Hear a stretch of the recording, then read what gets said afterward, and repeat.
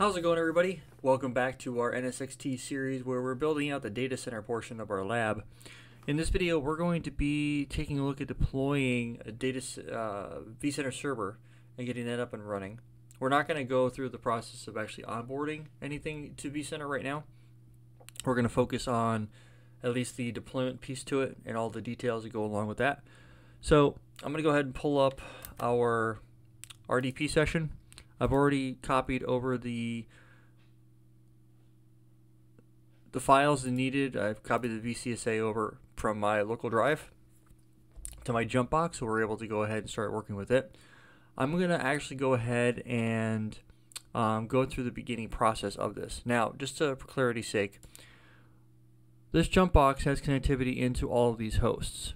Now, what I've done is this jump box has the the adapters attached to it, so I can talk. So from a networking perspective, the let me go ahead and zoom in here on this guy. This guy right here, the network adapter vmnic 0 for management, is going to be connected to um, the vCenter server instance attached to the lab port group.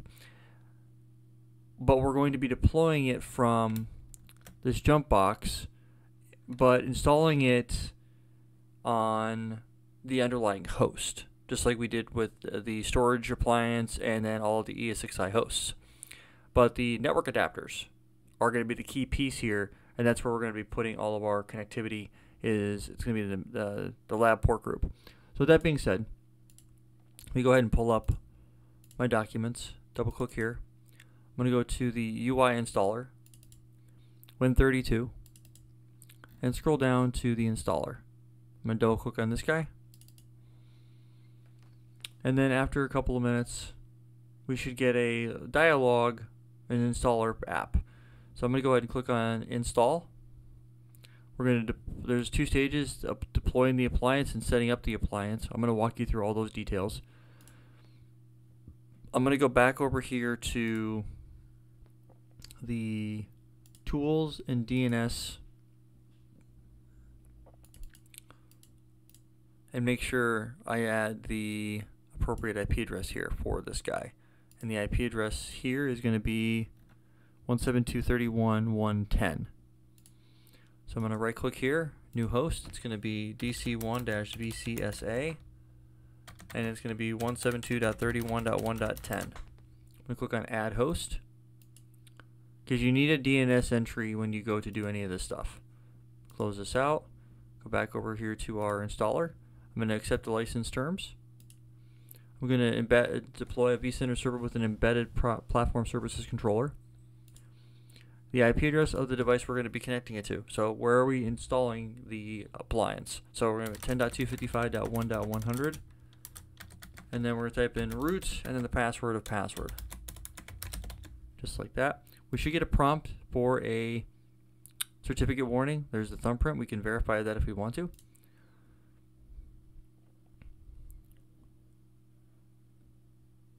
So I'm going to go ahead and name this DC1 uh, dash VCSA. The password is going to be what we've been using. Just like that. Click next.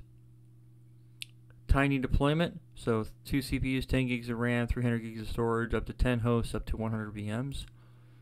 We're going to put this on data store 2 and thin provision it. Click next. This is important right here. This VM network, we need to put this in lab port group. Like super, super, super important.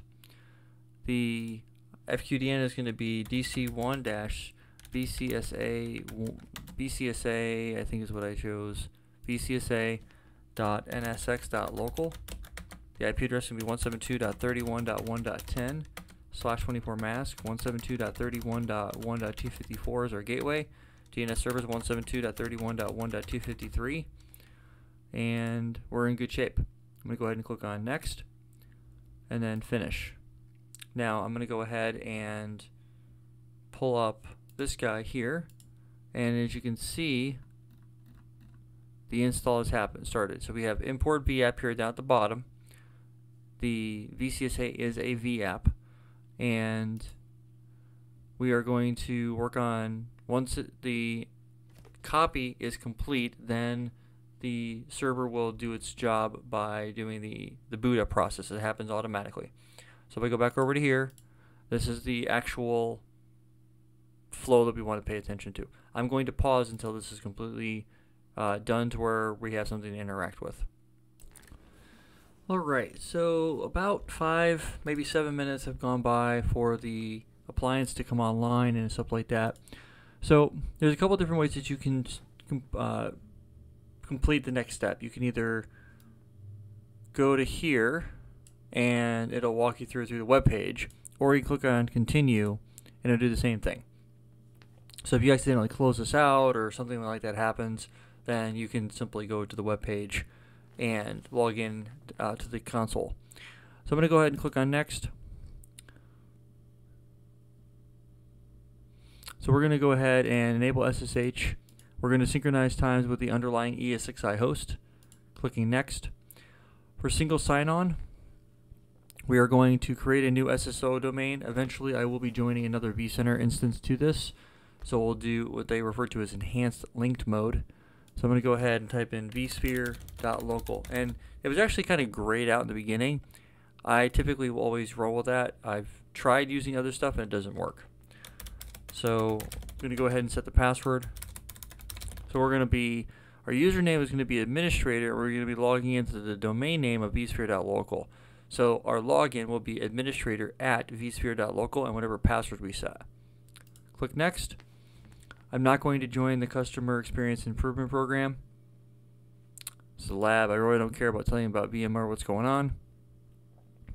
Now once we do this, this is all the details we're going to have. So I'm going to go ahead and click on Finish, and it's going to pop, pop up and say, you will not be able to pause or stop the installation from completing once it started.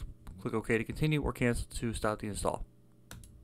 Okay, so it's going to go ahead and configure everything. It's going to turn on all the services that we need to have turned on, and then we'll be in really good shape. So I'm going to pause the video while this happens, and then I'll bring you guys back in when we can log in.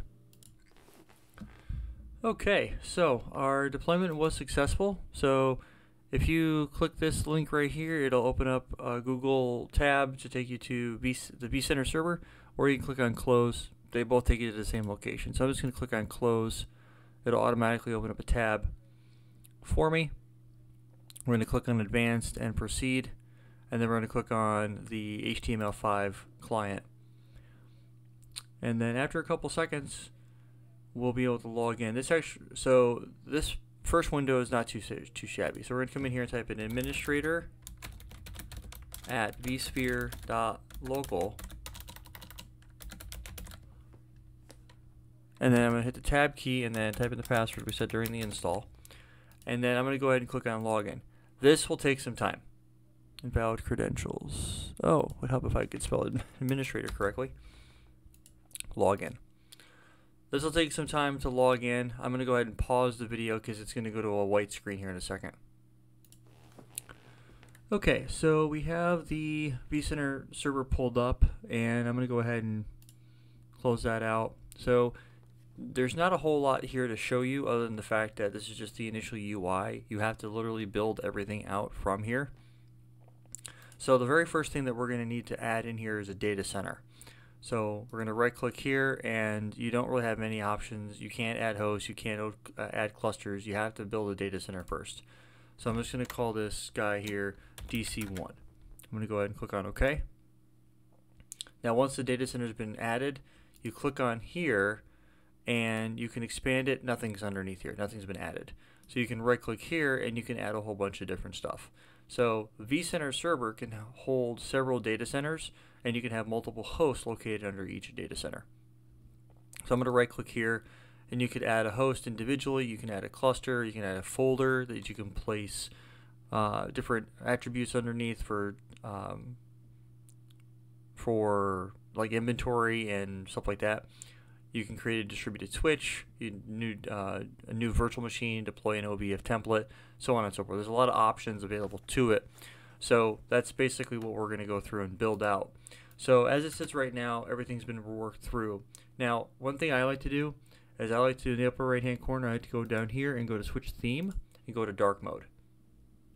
That's just my personal preference when I'm working with inside of vCenter.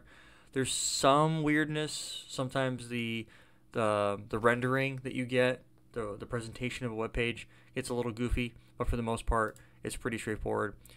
Uh, there will be times when we get rid of this taskbar down here at the bottom, but you can always bring that back up by going to the right hand corner here and bringing it up and stuff like that. So in the next video, we're going to go ahead and start building out the logic for vCenter. So we'll start adding in the the clusters and talk through what we're going to do for that, and then we'll talk about how adding hosts to clusters and adding the hosts themselves. Then we'll talk about the the build of everything else. So adding ho- uh, clusters and hosts will be next, and then we'll have the networking where we migrate. We bring everything into vCenter. We migrate away from the VSS switching that we created on host one and host three. We migrate to a VDS. We create more port groups, and we talk through the details on that. And then once we're at that point, we'll be in a good spot to then start talking about NSXT because you have to build a data center out first, then you can overlay NSX-T on top of it. So having a data center virtualization core competency and having that, having that knowledge is really really important. So we'll talk more about that in detail in the next video. Until next time, guys, thanks so much for stopping by, and I'll catch all of you in the following video.